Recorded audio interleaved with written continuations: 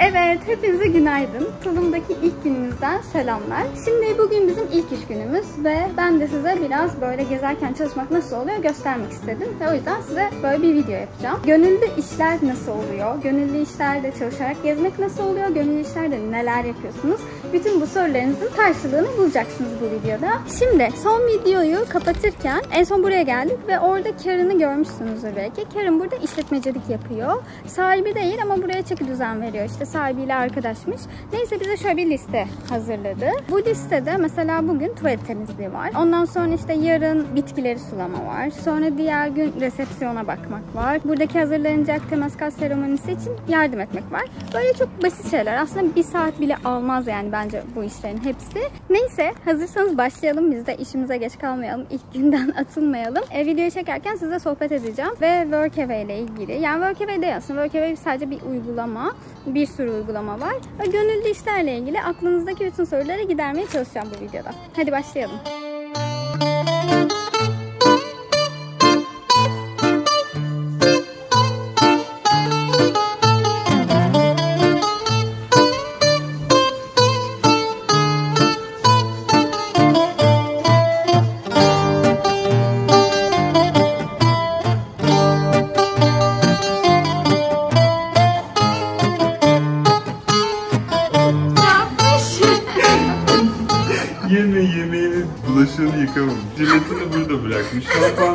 Orada. Pasaklı bir çocuk ya. Ayfer çocuğa kızdı da burada bir tane müşteri var. Ona kızarken başka bir şey keşfettin. ne keşfettin? mantar keşfetti. Gizli bir mantar keşfetti. Gel bak. Tam olarak şurada bir, habitat, bir ekosistem oluşmuş. Şu küfün üstünde bir tane mantar bitmiş. Kimse de onu almamış oradan. Yıllardır oradan. Ben çöp sandım yani. Niye tuvalette yerden mantar bitsin. Sonra ne yaptın? Aldım böyle baktım ki mantar. Şu an birazcık suçlu hissediyorum. Yıllardır kimsenin dokunmadığı mantarı. Bozdun orada bir ekosistemi bozdun.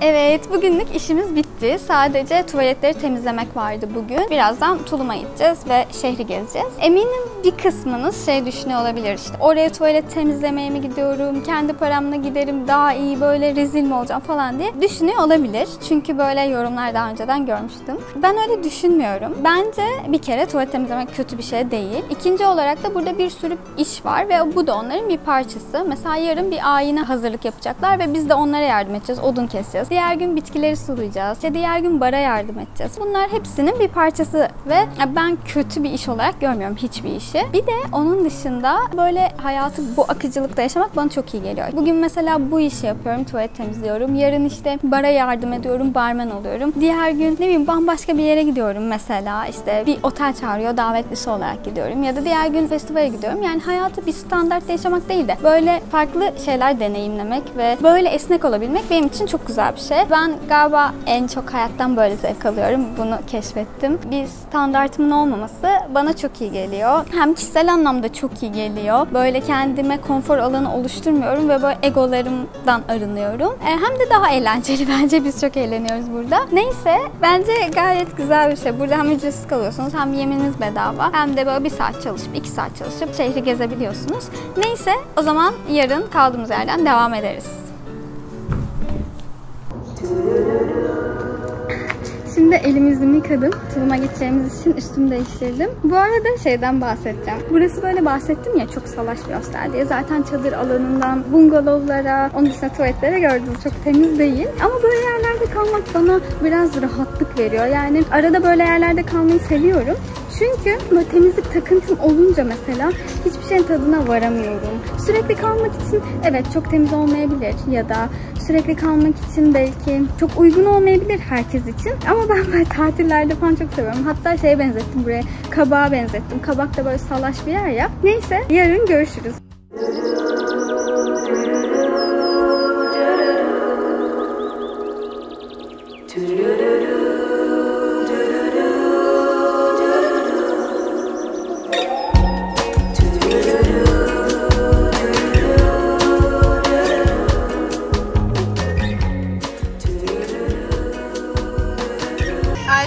Alper şu an çok acı bir biber yedi. Bunu Tulumdan yedi. Çili turşusu diye geçiyor. Ama aşırı acı. Ben de yedim bu arada. Alper'e bir dene dedim. Nasılsın? Aa, çok acı. Kulaklarından çıkıyor mu? Çıkıyor. Bu arada ben enchiladas yiyorum. İçinde patates var. Normalde tavuklu oluyor. Alper de şinisel yiyor. Ne tuzağı ya? Denesene dedim. Tuzak Denesene kurdun dedim. bana diyor. İnsan söyler ama deneme der hatta. Hani bunu deneme bu kötü der yani. Ama ben sana dedim ki denesene çok acıymış. Güzel bir acı dedim. Güzel bir acı değil. Tuzak Acı- mı kurdun bana diyor ya. Acı, acı bir acı. Ama güzel bence. Bilmiyorum sen seviyorsun.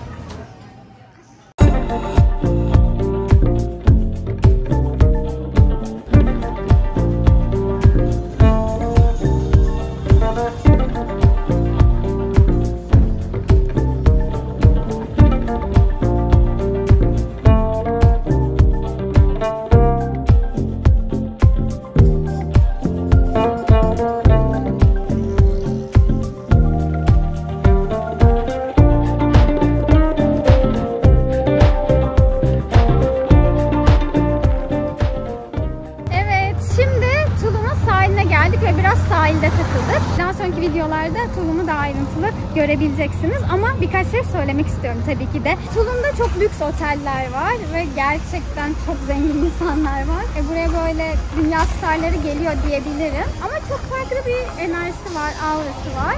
E daha sonraki videolarda böyle Tulum'u bir vlog yapacağım ve size burayı hissettirmeye çalışacağım. Şimdilik bu kadarla idare edin. O videoyu da izlemek için kanala abone olmayı ve bildirimleri açmayı unutmayın. Hepinize ikinci günden selamlar. Şimdi kalktık böyle hemen kendimize geldik. Bir kahve falan içtik. Sonra kahvaltı yapmadan hemen işe başlayalım dedik. Çünkü bugün de çok az işimiz var ve kahvaltıdan önce bitirelim. Sonra bütün gün bizim olsun dedik. Şimdi bugün ne yapacağız? Bugün resepsiyonu şuraları sileceğiz. Buraları temizleyeceğiz. Şu içerideki alanı falan temizleyeceğiz. Bir de şu yukarıda kaldığımız kamp alanı var ya şurası. Oranın yerlerini sileceğiz ahşap temizleyiciyle. Ve bütün işimiz bu kadar. Yine çok basit. Hemen başlayalım dedik. Kaç işimiz var. Onları işte internetten halletmemiz gerekiyor. Bakalım eğer erken bitirirsek hemen işlerimizi hallederiz. Sonra sentere gideriz ya da yarın gideriz. Neyse hazırsanız başlayalım.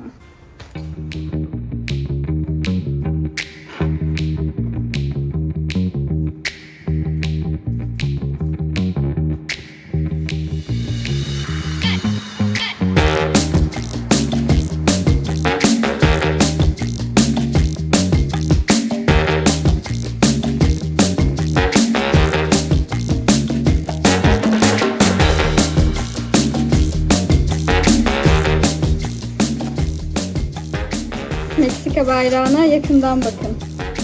Şöyle size göstereyim. Burada bir kartal var. Kartal yılanı yiyor. Aşağıda kaktüsler var ve böyle işte etrafını çevreleyen yapraklar var. Maya Aztek gibi yerliler var. Şimdi ismini unuttum. Onlar da kartal çok önemliymiş. Onu simgeliyormuş. Ama şu an unuttum. Yalan söylemeyeyim valla size. Bir bak. I found that. Uh, do you know the meaning of the you know, flag? The eagle eats snake. Bu arada bayrağı sordum şimdi Karen'e. Birisi görmüş bir kartalın yılan yediğini görmüş. O yüzden böyle bayrağı koymuşlar. Böyle milyonere falan katılırsanız böyle bir soru gelirse bunu da buradan hemen yanıtlamış olalım.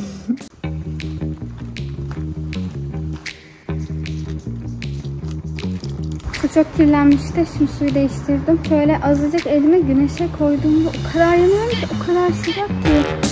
Of çok sıcak.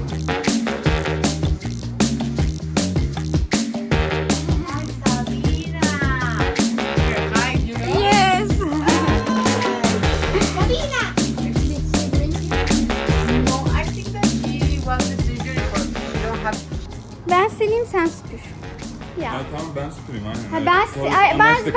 ben- Anlaştık. Ben süpüreyim. Ne olur ben süpürmeyi çok seviyorum. Anlaştık ama. Sen çok güzel siliyorsun. Hadi. Ben de süpürmeyi çok seviyorum. Ya sen sevmiyor Taş kağıt makas. Üç yapan kazanır. Tamam. mı? Sen de benim elim. Tamam. Taş kağıt makas. Ben. Bir sıfır. Taş kağıt makas. 2-0. Hay senin ağzını nasıl bir şans ya. Al gülüm. Ver gülüm.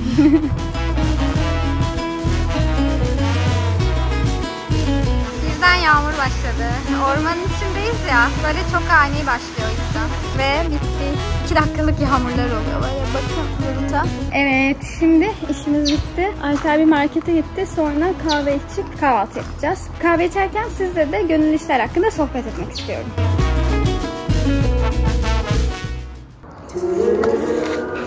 Evet, şimdi güzel bir duş aldım ve kahve yaptım kendime. Günün ikinci kahvesi ve sizle sohbet etmeye geldim. Sizin aklınızda oluşabilecek soruları şöyle kağıda çıkarttım, not aldım ve onları yanıtlamaya geldim aslında. Şimdi şöyle, İlk soracağınız soru büyük ihtimalle bu işi nereden buluyorsun? Bazı siteler var. Bu gönüllü iş ilanı vermek isteyen insanlar bu sitelere paylaşıyor iş ilanlarını. E siz de bu sitelere üye olarak bulabilirsiniz. Benim bildiğim siteler Workaway, Helpix, Workpackers, VVUF hepsini yazacağım zaten ekrana. Oralardan bulabilirsiniz. Ancak bu siteler üyelikli. Yani bu site için çalışan insanlar var ve onların da para kazanması gerektiği için yıllık 50 dolar gibi bir şey yatırmanız gerekiyor. Ben genelde Workaway kullanıyordum. E, bu sitelerin şöyle avantajları var. Örneğin mesela bir yere gittiniz, başınıza bir iş geldi falan Workaway sizi ve hosteli güvence altına alıyor ve herhangi bir sorun yaşadığınızda onlarla konuşabiliyorsunuz. Ama diyorsunuz ki ben para vermek istemiyorum. 50 dolar benim için çok ki bizim için gerçekten çok. Facebook'ta bazı gruplar var. Ben bu işi öyle buldum mesela. Workaway üyeliğim bitmişti ve almak istemedim yeniden. Facebook'ta mesela Backpacking in Mexico diye bir grup var. Orada işte bütün hostel sahipleri paylaşıyor. Gönüllüye ihtiyacım var. Şu şu şu işte isteyenler yazsın diye. Facebook'a da bakabilirsiniz. Onun dışında neler yapabilirsiniz? Mesela biz şimdi bu hostelde yardım ediyoruz ve bütün işlere bakıyoruz. Genelde böyle hostellerde daha böyle bir yardımcı eleman gibi yani bizim gibi insanlar arıyorlar. Onun dışında mesela buradaki duvar çizimlerini yapan insanlar da gönüllüymüş. Genelde hosteller eğer sanatsal bir e, çalışma istiyorsa yine çizimi iyi olan birisini arıyor. Ya da mesela ben Güney Kore'de İngilizce öğretmenliği yapmıştım. Onun dışında yoga öğretebilirsiniz. Bilmiyorum yani yapabileceğiniz şeyler sınırsız. Yani bir sürü şey yapabilirsiniz ve yeteneklerinizi konuşturabilirsiniz. Hemen şey soruluyor. E, sigorta karşılıyorlar mı? Uçak bileti alıyorlar mı? Bu öyle bir şey değil. Kesinlikle öyle bir şey değil. Aslında bu seyahat ederken sizin bir yerde daha uzun kalmanız için yardım edip karşılığında bedava konakladığınız bir şey. Böyle işte ben Türkiye'den başvurayım, geleyim falan öyle bir şey değil yani. Ve tatil için de çok mantıklı değil. Çünkü yılda iki hafta tatiliniz varsa gelip böyle bir yerde çalışmak istemezsiniz. Ama mesela benim gibi gezginseniz eğer ya da okulunuzdan yeni mezun olmuş bir yıl seyahat etmek istiyorsanız, 6-7 ay seyahat etmek istiyorsanız ve çok da bir bütçeniz yoksa bence tam sizlik bu iş. Ya da dijital nomadsanız bu tarz gönüllü işler tam sizlik diyebilirim. Aynı zamanda bu gönüllü işler şey açısından da çok iyi. Mesela ben ileride bir işletme açmak istiyorum. Böyle hostel olur, Antalya'da bir yer olur, böyle daha çok bungalovlar, doğanın içinde bir yer olur. Öyle bir şey yapmak istiyorum ve mesela burada gelip tecrübe edinebiliyorum. Ya da organik tarım yapmak isterseniz mesela permakültür yapmak istersiniz ileride. Gidip böyle tecrübeler edinip daha sonra yapmak çok daha iyi olur. Bir yerlerde çalışırsanız ve orada doğabilecek sorunları önceden öngörürsünüz ve yapacağınız işletme için de çok iyi olur. Sizin için de çok iyi olur ve güzel bir tecrübe olur. Ben neden gönüllü işleri çok seviyorum? Çünkü dün de biraz bahsetmiştim. Hayatımın belirli bir standart olmaması e, bana daha güzel geliyor. Mesela burada bu hostele yardım ediyorum işte. Birkaç gün sonra mesela temas kal ayini olacak ve bunu yakından gözlemleme şansım olacak. Buradaki hayatın içine karışıyorum. Yarın bambaşka bir maceraya atılıyorum ve yani hayatımın bir standartın olmaması çok hoşuma gidiyor. Ya dünyaya bir kere geliyoruz ve bir hayatımız var ya aslında ben ömrüme daha fazla e, tecrübe sığdırmaya çalışıyorum ve böyle işlerde başkalarının hayatını tecrübe ederek de daha çok yaşanmıştık. İşte buradaki hayatı falan. O yüzden benim için çok güzel. Aynı zamanda işte uzun seyahat ediyorum biliyorsunuz. Maddi olarak da çok iyi oluyor. Bazen kötü yorumları görüyorum. Yok işte zengin, yok işte baba parasıyla geziyor, yok işte birilerinin parasını yiyor. Yok işte abi böyle geziyorum yani. Yani görüyorsunuz nasıl gezdiğimi ve böyle geziliyor. Yani tamam çok zor anlıyorum. Hani şu an belki Türkiye'de bir açıdan bakınca Meksika'dayım, Tulum'da tatil yapıyorum diye gözükebilir ama hani size nasıl gezdiğimi gösteriyorum ve hani düşük bütçeli de böyle de gezilebiliyor yani. Her şey şu an çok daha zor ama yine de sizle hala yolda olduğumu ve nasıl yolda olduğumu paylaşmaya çalışıyorum. Başka sorularınız varsa yorumlara yazın. Ben yine cevaplamaya çalışacağım. Yarın bir işimiz var. Yine sabahtan kalkacağız. Burada çalışacağız. Sonra sizi Cenote'ye götüreceğim. Videoyu öyle kapatmak istiyorum. Cenote'yi de görmenizi istiyorum. Çünkü bu Meksika'nın bu bölgesi çok güzel. Bir sürü cenote var. Bir sürü böyle milli park var ve e, Mayalardan kalma bir alan burası. O yüzden çok doğal. Yarın onu da gösteririz. Şimdilik ben güzel kitabımı dinleyip hamakta yatmak istiyorum. Yarın görüşmek üzere. Evet, bugünkü işimiz buradaki çarşafları değiştirmek. Burada 3 tane özel oda var ve oraya misafir geldi ve bugün check-out yaptılar. Biz de şimdi bu çarşafları değiştireceğiz. Odayı temizleyeceğiz. Bunların tuvaleti var. Onları temizleyeceğiz ve bitecek. Büyük ihtimalle yine 20 dakikada falan bitireceğiz. Neyse, hadi başlayalım. The sun is shining 24/7. Cause when we're together, it feels like we're in heaven. If it will get dark, you'll be my million stars. I know I can lean on you. Ooh, you catch me like a leaf falling from En a sevmediğim tree. şey ranzanın üst katının çarşafını Make değiştirmek. a wish. No, I Oldukça don't böyle think bir it's gonna challenge'lı bir şey. That's so real. My heart is on the table cause you're my everything. I do, do, do, do, do. I wanna marry you.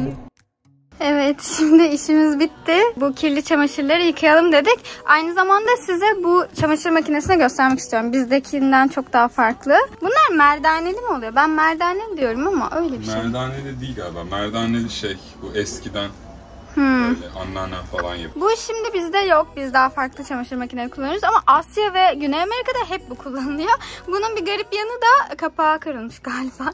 kapağı yok. Çalıştır bakalım Alperciğim. Oynat Alperciğim. Böyle yıkıyor. Bunların bu arada çoğunda sıcak su yok biliyor musun Alper? Bir Evet, kısmında var. Zaten suyu ben Kendin koydun. Yani elde yıkamanın bir tık şeyi, gelişmişi diyebiliriz.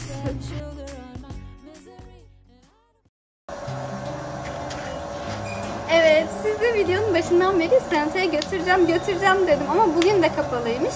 O yüzden bugün de gidemedik. Böyle havuz başında havuzumuz temizlendi. Bir kapanış yapayım dedim. Her şeyi söylemeyi unuttum. Çok önemli bir şey söylemeyi unuttum. Ben size hep böyle gönüllü işleri anlatıyordum ya. Hani gezerken ihtiyacınız olur falan diye. Bu arada bunu Türkiye'de de yapabilirsiniz. Yani yazlık mekanlarda yazın işte. Hani okuyorsanız okulunuz tatil olunca falan. Gidip böyle Fethiye'de, Antalya'da gönüllü çalışarak bedava takılabilirsiniz. Ben çok gördüm gittiğim butik otellerde, pansiyonlarda. Bunu da unutmayın. Aklınızın bir köşesinde dursun. Onun dışında buranın sahibi geldi ve onunla biraz konuşma fırsatımız oldu. Burayı niye inşa ettin falan diye sordum. Ve şey dedi çok ilginç. Böyle aydınlandım resmen. Tulum 10 yıl önce böyle bir yermiş. Yani daha çok böyle doğayla uyumlu yapıların olduğu, işte böyle ormanın içinde hani böyle sırt çantalıların, hippilerin takıldığı bir yermiş. Sonradan bazı insanlar keşfedince işte böyle lüks oteller falan yapmış buraya. Buranın bir merkez kısmı var. Hani bir bizim işte orman kısmı var, sentolerin olduğu. Bir merkezi var, bir de beach kısmı var.